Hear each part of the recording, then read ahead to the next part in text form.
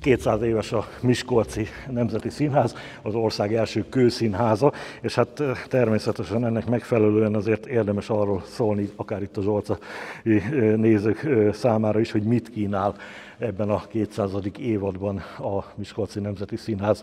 Az évad ugye számos bemutatót tartogat, és hát ugye a, a nyitó és a jubileumi rendezvény az egy 200 évvel ezelőtti darab újra műsorra tűzése lesz.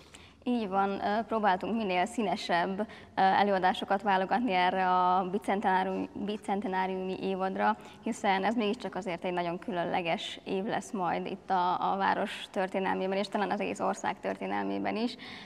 200 évvel ezelőtt ugye a miskolciak szeretetéből épülhetett fel ez a színház, és most is a viszontagságos időszakban az ő támogatásukkal maradhattunk nyitva ugye a téli időszakban is, úgyhogy szerettük volna meghálálni mindenképpen nekik azt, hogy ennyire kitartóan szeretik a mi színházunkat. Hát tegyük hozzá, hogy most is itt azért elég hűvös van.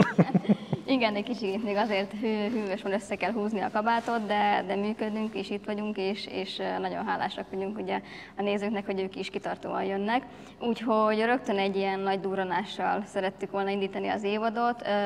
200 évvel ezelőtt, 1823. augusztus 24-én volt a premierje a Tatárok Magyarországban című előadásnak, amit Kisfaludi Károly művéből készítettek el, és hát most ezt ismét színpadra fogjuk állítani, Szőcs Artúr rendezésében készül, majdnem az egész társulat benne lesz, zenekarral, énekkarral, a Miskolci Balett is természetesen a színpadra fog lépni, úgyhogy egy igazán grandiózus produkcióra számíthat majd a nézőközönség. És természetesen nem csak egy díszelőadás lesz augusztusban, hanem bekerül a bérletbe is, úgyhogy egész évben lehet majd látni ezt a különleges produkciót. És ennek a különleges produkciónak van egy különleges hangszere is. Így van, így van, Mongóliából kaptuk, a, a mongol nagykövet számunkra készítette el ezt a hangszert, hiszen ezt csak Mongóliában készítik el, és Szőcs Artúr és Béres Attila igazgató úr elmentek, felkeresték a mongol nagykövetet Budapesten, hogy tudna segíteni nekik abban, hogy, hogy egy ilyet számunkra biztosítson, és azt mondta, hogy nincsen semmi akadálya, és akkor minél gyorsabban, ahogyan tudta, ő ezt elkészítette és el is hozatta, és nem is olyan régen ugye itt Miskolcon át is adta nekünk, úgyhogy ezen majd tudnak már próbálni, és meg is tudják majd szólaltatni ezt a, a próbák során ezt a hangszert, és hát aztán augusztus 24-én pedig igazán nagyon jó hangzást fognak elérni, ezzel kiegészülve már. A lófejű hegetű, tehát kór, ez a maga kórt is jelenti, és ez egy nagyon régi, a hagyományos népi uh, uh, hangszer, és mi büszkénk vagyunk erre a hangszerre, hiszen mind az két hóron az egész világ benne van. Ezt érték, hogy miért mondjuk ezt. Most Annak ellenőre, hogy kettő van, rengetegféle uh, hangot ad. Én nem vagyok uh, művész, de csak szeretnék, hogy ad, ad, le, lehessen egy kis hangot adni. Na figyelj! Szóval már rendezőszedben.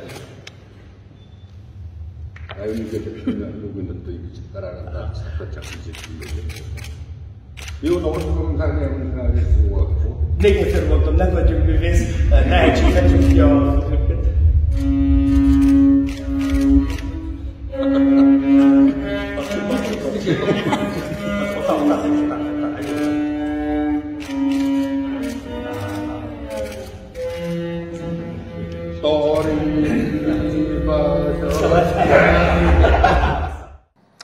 Emellett több mint tíz ö, új darabnak a bemutatójával készül a színház a jubileumi évadra, ö, és a daraboknak szinte mindegyike valamilyen ö, módon kapcsolódik Miskolchoz. Így is van ugye a következő nagy címünk, ha mondhatom így, a Csárdás királynő operett lesz.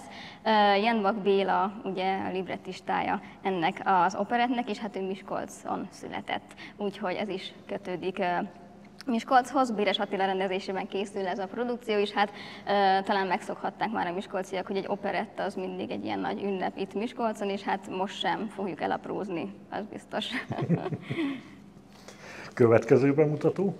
Következő bemutató, most a nagy színházakat sorolom fel először, talán ezt így tagolva egyszerűbb megjegyezni és, és készülni is arra, hogy miket lehet majd látni itt nálunk. Mert hogy tegyük hozzá, hogy ugye a Miskolci Nemzeti Színháznak öt játszótere van. Így van, így van. A legfőbb hármat használjuk a legtöbbször, van még kettő is azért, amit szoktunk. Ugye a nyári színház és a csarnok az, amit kevesebbszer, de azért mégiscsak kihasználunk, de a nagy színház, a kamaraszínház és a játékszín a, a fő sodor. A Nagy Színházban Rusznyák Gábornak az egyik előadását lehet majd látni, az ő rendezésében készül Arthur Millernek a Szálmi Boszorkányok című műve alapján a Szálemiek című előadás. Gábor mindig nagyon szeret úgy hozzányúlni az előadásokhoz, hogy egy picikét belenyúl, de mégis azért meghagyja az eredeti műnek a mondani valóját, a tanulságát, úgyhogy szerintem most is egy igazán különleges produkcióra számíthat majd a nézőközönség, és hát persze opera sem opera nélkül sem múlhat el az évad.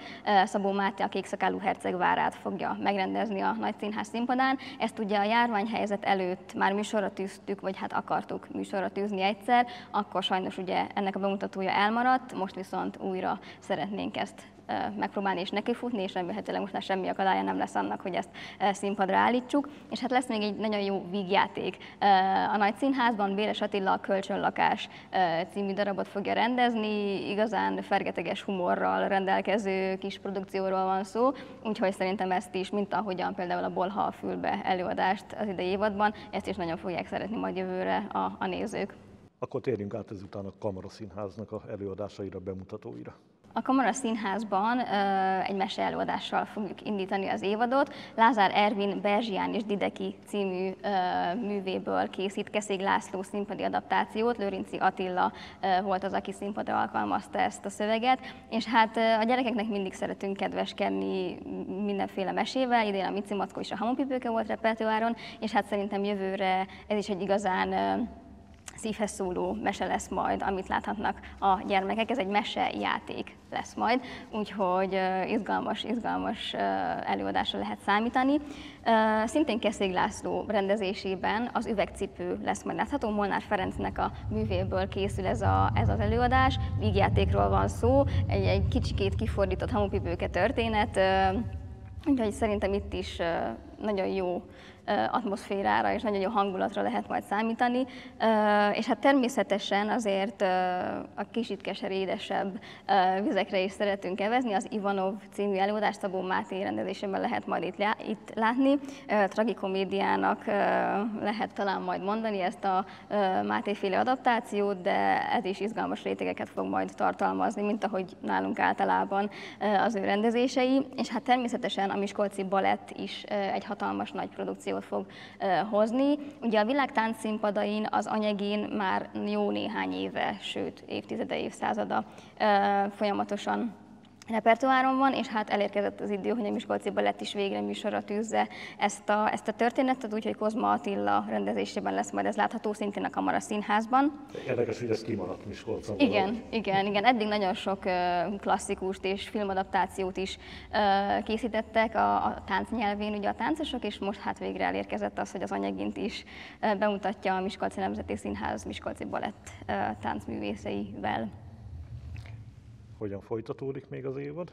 A játékszín az a legkülönlegesebbnek mondott játszóhelyünk. Nagyon sok visszajelzést kaptunk a nézőktől, hogy mostanában hiányoztak nekik a, a különleges játékszínes előadások, úgyhogy most ezt igyekszünk majd bepótolni ebben az évadban. Rusznyák Gábor a Hedda Gablert fogja színpadra vinni, és hát ahogyan már korábban is elmondtam, Rusznyák Gábornál mindig lehet számítani arra, hogy valami pluszt ad az előadásai során. Szőcs Artúr a Leonsz és Lénát fogja majd a játékszínben rendezni. Ez egy színmű zenével, úgyhogy ez is egy nagyon kis különleges produkció lesz, Bodoki Márkal és Baranyi Emmával a főszerepben.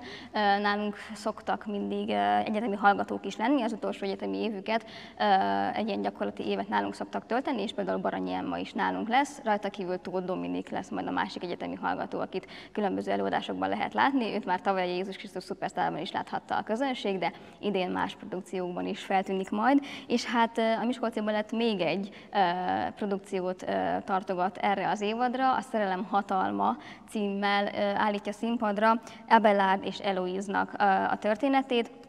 Ez egy síron túl tartó szerelem története, ez egy tiltott szerelem sztoria, egy pap és a tanítványának a, a kapcsolata, a titkos szerelme és az ő levelezéseik az, ami meg fog itt jelenni a táncszínpadon, úgyhogy ez is egy igazán érzelmes produkció lesz a, a Miskolci Balett részéről. És kettő, hát mondjuk úgy meglepetést is tartogattunk azért az évad során. Szintén a járványhelyzet előtt mutattuk be a Vadkacsa című előadást Rusznyák Gábor rendezésében, a játékszínben, és hát pont a járványhelyzet miatt nem igazán tudtuk sokszor játszani, és azóta is csak pár alkalommal sikerült, viszont most ez egy nagyon nagy közönség kedvenc, úgyhogy úgy gondoltuk, hogy ezt szeretnénk visszahozni. Úgyhogy ez a bérletben is megtalálható lesz, a bérlet kínálatban, úgyhogy ha valaki nagyon szeretné megnézni a vadkacsat, akkor érdemes bérletet váltani, hiszen úgy garantáltan meg fogja tudni nézni, itt a Kamara Színházban lesz most majdnem pedig a játékszínben, de szerintem ez is egy nagyon kis különleges atmoszférát fog teremteni ennek az egyébként is nagyon speciális díszletnek. És hát lesz még egy nagy dobásunk, Hassányi Attila és Fandul Ferenc, talán a két legikonikusabb páros itt a Miskolci Nemzeti Színházban, és ők ketten egy különleges szubjektív kutakodást tettek József Attila életében, és a József Attilát meg fogom ölni címmel fognak egy ilyen kis verses elmélkedés produkciót a, a játékszín színpadára alkalmazni, úgyhogy szerintem ezt is várhatja majd a közönség. Mielőtt visszatérnénk a bérletekre, azért, ha már a nevek szóba kerültek, ugye hát itt a rendezők közötti szőcsartúrt hallottuk, ide többször emlegetted, azok a nevek vannak, akiket jól ismer a, az ő munkájukat, jól ismeri a miskolci közönség, tehát egyfajta ilyen biztonsági játéknak tűnik ez. Ah, nem, egyébként egyáltalán megtapasztaltunk már azt azért, hogy melyik rendezőnek szeretik a milyen fajta előadásait, vagy hogy is mondjam, nem biztos, hogy ezt jól fogalmaztam meg, de minden rendezőnek van egy stílusa, amit szeretnek a nézők, és ezek garantáltak arra, hogy legközelebb is majd valami olyat láthatnak, ami elnyeri majd a tetszésüket, úgyhogy erre azért igyekszünk figyelni. A rendezők mellett azt gondolom nagyon fontos a szereplők is. Kiket láthatunk majd főszerepekben? Nagyon sok színművészünk van ugye most a társulatban, és hát próbáljuk azért nyilvánvalóan, most a rendezők próbálják úgy elosztani a szerepeket, hogy mindenki kitűnjön egy kicsikét. Természetesen ugye Cikker Lillát, Rudolf Szonyát is, természetesen lehet látni Seres Ildikót. Az operettből nem maradhat ki természetesen ugye Varga Andrea vagy Eperjesi Erika, az ő hangját szerintem egész Miskolcon ismerik mind a kettőjük hangját, de persze Simon Zoltán és Mészői Anna is nagy szerepeket fog kapni, és hát az említett Harsány Attila, Fandő Ferencváros is szerepekben fog majd lubickolni, úgyhogy tényleg azt mondhatom, hogy szinte mindenkinek lesz olyan szerepe, ami emlékezetes lesz ebben az évadban. És akkor, hogyha már előadások meg évad, akkor beszéljünk arról, hogy hogyan, milyen bérletekkel várják most a nézőket. A bérletkonstrukcióink nem változtak, Ugyanúgy lesz nagyszínházi, kamaraszínházi és játékszínes béletünk is, és egy kombinált béletünk is van, ugye, ami a, ami a nagyszínház és a kamaraszínház előadásait ö, egyesíti. Ö, többféle opció van, ugye, hogy melyik napokon lehet ö, jönni a, a béletes nézőinknek, úgyhogy ezt mind-mind megtalálják a prospektusban, és majd ugye természetesen az mns.hu a honlapunkon is ez mind megtalálható.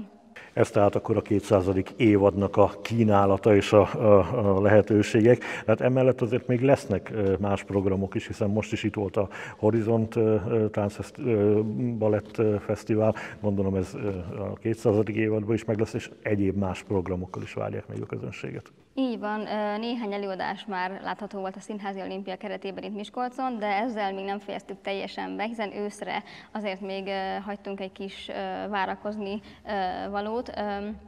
A Comedy Frances fog érkezni majd hozzánk, és a Tartüf előadásokat, előadásokat fogják hozni. Ugye francia nyelven, magyar felirattal lesz látható, és hát hogyha a Comedy Frances a Tartüföt hozza, akkor talán lehet azt mondani, hogy a legjobbat hozzák.